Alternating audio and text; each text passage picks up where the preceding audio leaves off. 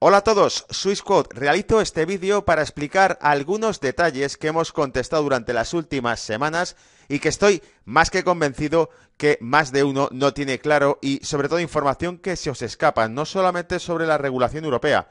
Vamos a ir más allá, vamos a ver qué han hecho otras regulaciones para ser capaces de predecir qué es lo que probablemente veamos en el escenario europeo los meses que están por venir con la nueva normativa. Oportunidades, riesgos y sobre todo números muy concretos que te permitan entender cómo te va a afectar a ti como inversor lo que ocurra en ESMA. Además, añadiremos una parte de advertencia, recordando que hay que tener precaución, como de costumbre, en el mundo de la inversión con los cambios que se produzcan dentro del sector y con los movimientos que hagan determinadas firmas financieras. ¿De acuerdo? Bueno, pues empecemos directamente con ¿Quién soy yo? Yo soy Gonzalo Cañete, trabajo para la entidad Swissquote, soy economista especializado en macroeconomía, he hecho más de 200 cursos que podéis encontrar por internet. Y bueno, eh, la titulación que tengo es de experto en bolsa variable con derivados financieros eh, y participo con, frecuencia para diferentes medios de comunicación. Eh, y en este caso, como he dicho en alguna otra ocasión, hablo de la ESMA con el papel de víctima y verdugo simultáneamente, porque eh, soy broker desde hace 10 años, más de 10 años en concreto, pero soy trader a nivel particular desde hace más de 12 años. Por lo tanto, padezco e impongo las condiciones que la normativa europea nos va a obligar a todos los brokers que estemos dentro de la Unión Europea. Actualmente yo me encuentro desde Londres trabajando los últimos cuatro años, así que lo que os voy a contar creo que os va a ser revelador. El índice que os he traído nos habla de la normativa, la normativa europea que básicamente nos establece pues exactamente sobre qué producto se va a aplicar y a quién afecta o, puede afectar esta normativa. No solamente a ti como inversor, sino cómo le afecta también al broker para que entiendas eh, qué es lo que puede venir a partir de ahora. Os voy a recordar aquí que Estados Unidos y Japón ya hicieron esta normativa en el año 2010, una normativa prácticamente idéntica en cuanto a limitaciones de apalancamiento. Vamos a ver también de qué modo afecta a tanto al inversor como al broker. Vamos a ver también qué inversión minorista eh, eh, es según la normativa y qué es inversor profesional para que lo sepamos distinguir claramente. Eh, veremos también los riesgos de deslocalización del negocio y esto lo van a entender muchos clarísimamente. Los brokers van a querer salir corriendo de Europa con la normativa que va a entrar en vigor porque les va a afectar negativamente. y bueno, veremos también las advertencias que da la CNMV en este aspecto Analizaremos en el punto número 7 la parte del apalancamiento exactamente con números concretos. ¿Qué es lo que cambia? ¿Cómo me afectaría una operación hoy en día a cómo me va a afectar cuando la ESMA imponga esas condiciones si soy un cliente minorista? ¿Vale? El stop out, los márgenes eh, de garantía, eh, exactamente cómo se debe interpretar. Muchos nos habéis contactado con un error eh, muy típico. Interpretáis mal ese stop out. Hoy lo veremos con un ejemplo claro para que no quede en ningún lugar a dudas.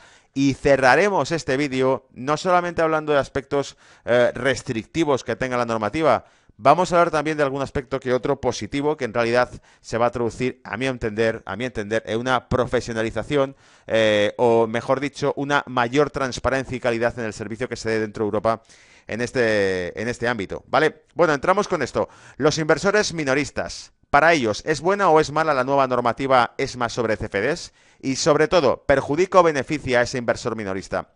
Bien, pues de esto es de lo que vamos a hablar principalmente eh, en la introducción de este vídeo.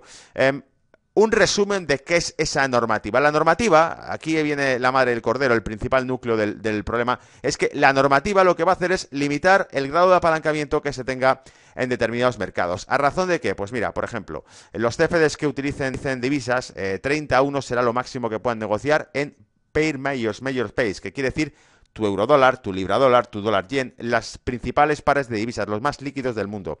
Los índices eh, bursátiles, los principales, también tendrán limitado a 20 a 1 ese apalancamiento, incluido el oro. 10 a 1 para las materias primas, excepto el oro, y 5 a 1 para valores sobre renta variable y bonos. ¿Qué es esto? Esto quiere decir que si yo tengo una cuenta con X saldo, me permitiría negociar 30 veces ese capital como máxima exposición, 20 veces, 10 veces, 5 veces, a razón de los ratios de margen que nos pidan en cada una de ellas, ¿vale? Eh, una reflexión que os pongo aquí abajo, aspectos interesantes. Fijaos que a mayor volatilidad del producto, menos apalancamiento. Luego, si tiene sentido esa normativa en cuanto a por qué se va a hacer ese apalancamiento descendente. Cuanta más volatilidad tenga el producto, cuanto más movimientos agresivos tenga en el mercado, menos apalancamiento se le concede para que sea menos peligroso, menos dañino, ¿vale? En este caso, algo que destaco y que muchos, muchos interpretan erróneamente es que se le da más apalancamiento a las divisas principales, a un euro dólar, una operativa en euro dólar, una operativa en libra dólar, que a la operativa, por ejemplo, sobre acciones, como puede ser pues sobre Telefónica, o como puede ser sobre BBVA o Santander o Iberdrola.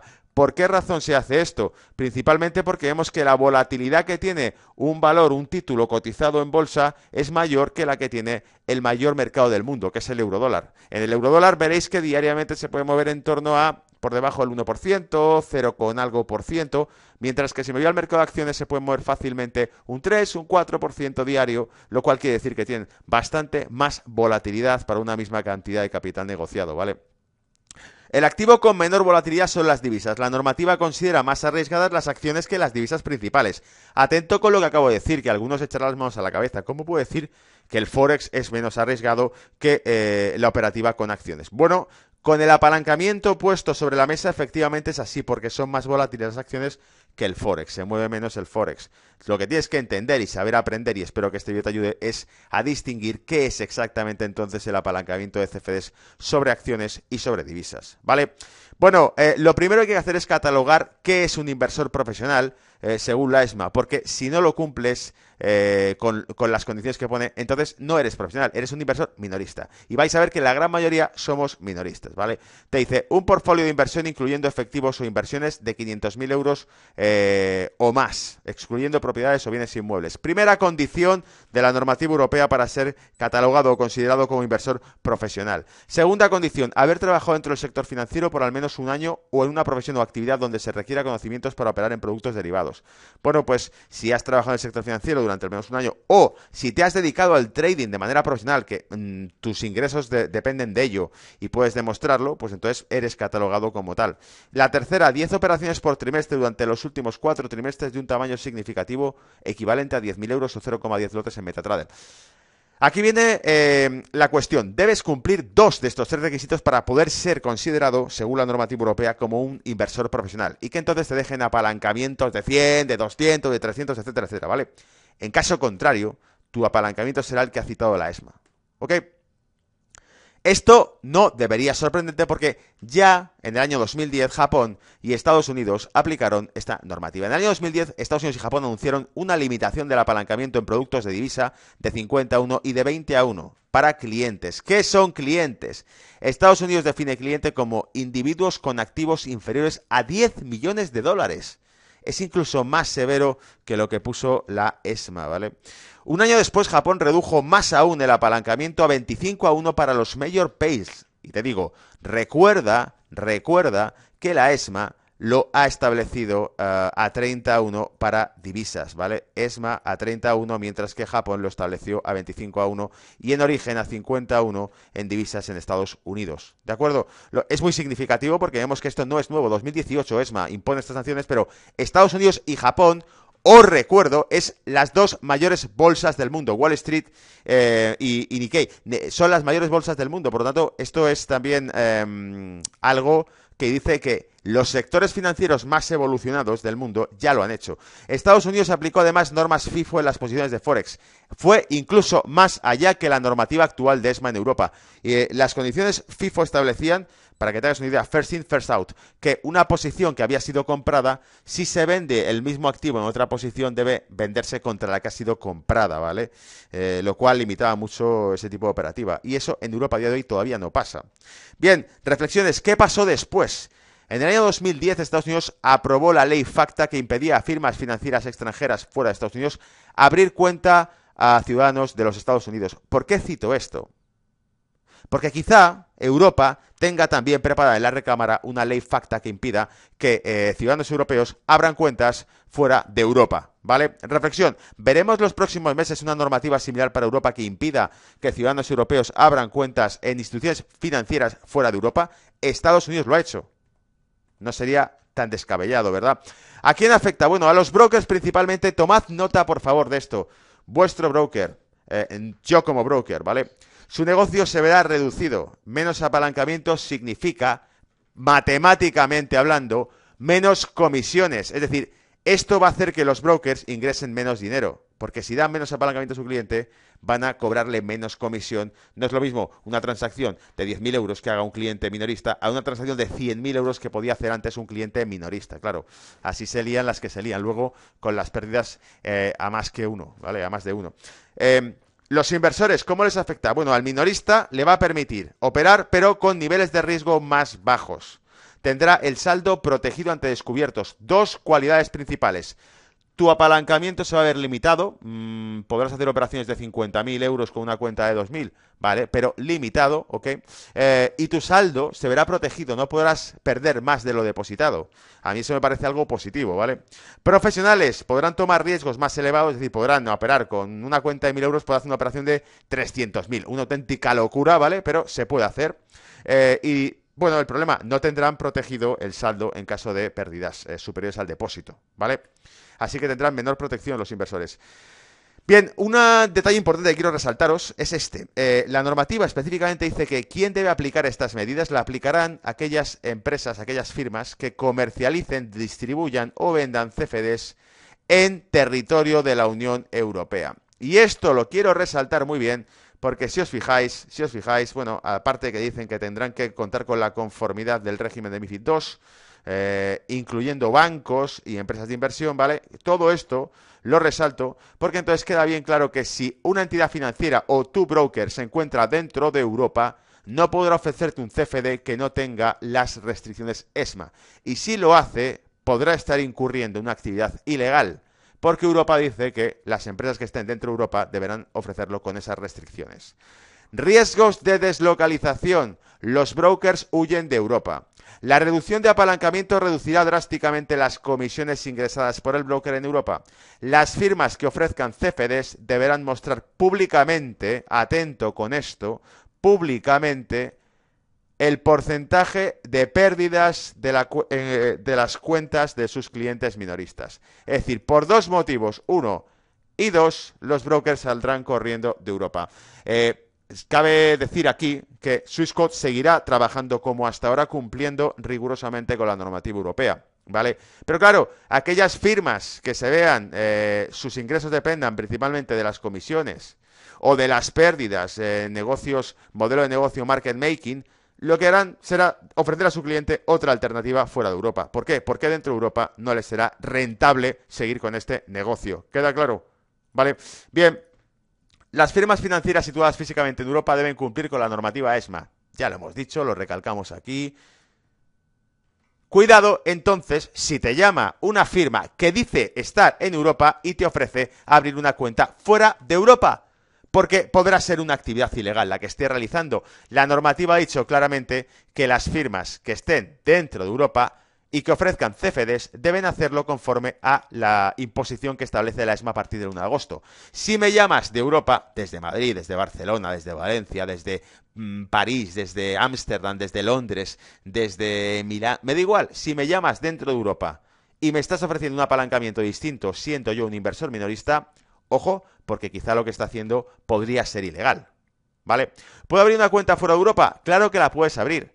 La cuestión está que si la tienes dentro de Europa, si tu firma, si tu broker está dentro de Europa, está sometido a la CNMV. Porque al ofrecer sus productos en España, quiere decir que la CNMV supervisa su actividad. Tiene lo que se llama pasaporte europeo para poder ofrecerla en España. Mírate, vete a la página web de la CNMV y revisa que esté ahí esa firma registrada.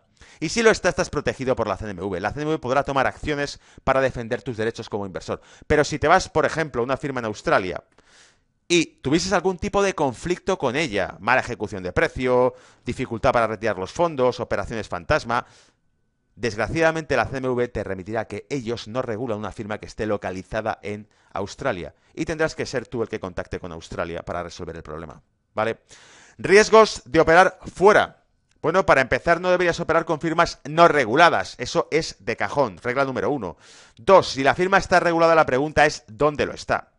Si está regulada fuera de Europa, las autoridades europeas no podrán protegerte ni defender tus derechos de inversor. Y más claro agua, la CNMV no podrá proteger en caso de conflicto si tienes algún problema con esas entidades, ¿vale? El decálogo para evitar chiringuitos financieros de la CNMV dice explícitamente que desconfíes si no te solicitan información. Los intermediarios financieros autorizados le ofrecerán un producto que debe evaluar su conveniencia eh, y su idoneidad a través de un perfil o cuestionario. Ya hemos visto qué cuestionario es ese y qué conveniencia es. Si yo no recibo estas preguntas cuando abro una cuenta, puede que estemos entrando en el terreno de un chiringuito financiero. Las preguntas son claras. Las tres normas que establece la ESMA para eh, catalogarte como inversor profesional y en cuyo caso, si no lo eres, ser minorista, que son los 500.000 euros de patrimonio, la experiencia de un año en un rol profesional eh, relacionado con derivados financieros y además o adicionalmente eh, haber hecho más de 0 o 10 transacciones, 10 transacciones de 0 o 10 lotes durante, de media durante los últimos cuatro trimestres. Esas son las condiciones. Si tú no recibes ese cuestionario es que la firma eh, puede estar incumpliendo con esto y como dice la CNMV podría ser un chiniquito financiero. ¿Es una entidad europea? ¿Dónde deposita sus fondos? Porque quizá te dicen, sí, somos europeos, estamos aquí en Madrid. Toma, la cuenta para depositar tus fondos como inversor está en eh, Belice. Bueno, pues si está en Belice, ya no están en Madrid. Cuidado donde mandas tu dinero, ¿vale? La CNMV autoriza la entidad en España. ¿Has revisado que realmente esa entidad esté dentro del listado de CNMV autorizada? ¿Vale? Está advertida como firma no autorizada. La CNMV, cuando detecta una firma que ofrece servicios de inversión y no está autorizada, directamente emite una advertencia de riesgo a los inversores, diciendo que no está autorizada en territorio español europeo a ofrecer ese producto. ¿Está ofreciendo una firma europea productos o servicios fuera de Europa? Cuidado, porque no pueden ofrecerte productos fuera de Europa, porque al estar dentro de Europa deben ofrecerte el CFD acorde con la normativa europea con su respectivo cuestionario. Los números hablan claros desde el apalancamiento. Una cuenta de 2.000 euros con un apalancamiento de 31 puede hacer una operación de 60.000 euros. Una cuenta de 2.000 euros con el apalancamiento minorista puede hacer una operación de 60.000 euros. ¿Es que no es suficiente?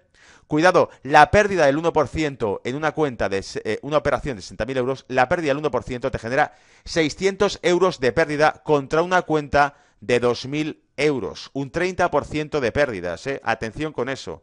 Bien, vale, si me voy a lo siguiente, con el apalancamiento actual, si cogieses un apalancamiento incluso de 400, una cuenta de 2.000 euros, opera 800.000 euros, ¿no te parece una auténtica locura? Digo yo, ¿eh? ¿Que no sería mejor irte a un casino? 800.000 euros con 2.000 euros en tu cuenta es que te va la marcha, claro. Si pierdes el 1%, pierdes 8.000 euros. Tu cuenta podría llegar incluso a saldo negativo. Con la normativa actual es imposible alcanzar saldo negativo cuando eres cliente minorista dentro de Europa. ¿Vale? Bien, y lo último que vamos a ver es el 50% de margen. El ejemplo está hecho para un euro dólar una operación de 0,10 lotes a un precio 1,22505.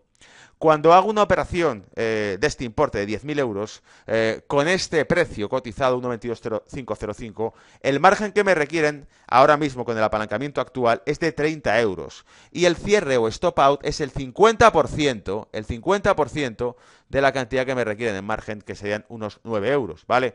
Si voy al caso siguiente, si lo que hago es hacerlo con el margen tal como lo plantea ahora mismo la normativa, serían los 2.000 euros de saldo, la operación de 1.000 euros, pero el margen ahora ya es de 480 y no de 30, ¿vale? Y en cuyo caso de perder, el stop out ahora está al 50% del margen, ¿vale? En este caso es erróneo, no serían 30, eh, serían 18 en realidad, ¿vale? Esto no lo he actualizado. 18, 9 euros el stop out entonces. Ah, no, no, perdón. Sí, sí, es correcto. Actualmente 30% stop out, eh, normativa ESMA 50% stop out. Si el margen es 30 euros, te cierran la posición al 30%, por debajo del 30% de esta cantidad, ¿vale? Ahora, con la normativa actual serán 408 lo que te piden de margen para la misma operación, para 10.000 euros, y te cerrarían la operación tu broker si pierdes el 50% del margen, no del saldo de la cuenta, sino del margen exigible. Es el 50% del margen, 50% del margen, no del saldo. Así que, fíjate, eh, misma operación, 10.000 euros, 10.000 euros, seguiría abierta, no te cerraría tu broker la operación hasta que no te hayas pulido todo, hasta que no te queden 9 euros de saldo, ¿vale? Por debajo de 9 euros. Con la normativa actual obligarán a que tu broker te cierre si has perdido eh, por debajo de 204 euros, lo cual hará que te quede todavía algo de colchón y dinero. Con esto, eh, evidentemente, utilizando este tipo de márgenes, eh, nos arriesgamos a pulirnos por completo el dinero rápidamente, ¿vale? Bueno, eh, y más allá de eso, últimos eh, puntos a destacar. Eh, bueno, yo creo que la parte principal, para resumir todo lo que hemos visto, es la oportunidad que te puede mostrar es la protección de saldo negativo. Para mí eso es fundamental, que como cliente tengas el saldo protegido sabiendo que trabajas con derivados bastante arriesgados de por sí, mejor llevarlo con algo de protección, ¿vale? Menores riesgos a mercados, porque lo que tendrás es menor exposición. Al utilizar menor apalancamiento, expones menos, ¿vale? Tercer punto, resultados más consistentes. Si negocias con menos apalancamiento, lo que vas a conseguir es que las pérdidas o las ganancias sean más suaves. De momento te vas a traducir en menos estrés operativo, ¿vale? Ya no va a haber sustos como los que había con apalancamientos de 400. Eh, menor volatilidad en pérdidas y ganancias. Tus pérdidas y tus ganancias van a ser más constantes, no van a ser perderlo todo o duplicarlo todo de la noche a la mañana. Eh, y aún así seguirás conservando apalancamiento para sacar grandes, eh, grandes ganancias, ¿vale? en caso de que tengas una operativa exitosa. Bien, último punto, fijaos que Investopedia citaba que los fondos de, en bolsa, los fondos cotizados, utilizan derivados financieros para amplificar sus rendimientos. Sí, obviamente. Pero dice, estos fondos tienen como objetivo mantener un nivel constante de apalancamiento durante el periodo de inversión en una proporción de apalancamiento de 3 a 1 o de 2 a 1. Es decir, lo último que os quería transmitir con esto es que es una auténtica locura utilizar apalancamientos superiores, porque yo llevo más de 10 años como broker, he tenido mucho contacto con mucha gente del sector financiero a nivel de Europa y la gente más profesional que he conocido, nadie operaba con apalancamientos de 100, de 200, de 300. No lo hacían, ¿vale? ¿Por qué? Porque lo consideraban eh, lo que llaman gambling, lo consideraban eh, ludopatía. invertir es algo distinto. ¿Ok? Utilizar el apalancamiento de manera sensata. Bien, cualquier duda que te quede después de este vídeo, llámanos al 800-600-930 o nos escribes un correo o me contactas directamente, puedes preguntar por mí y te atenderemos encantados para resolverla, ¿vale? Espero que os haya ayudado. Un placer. Chao.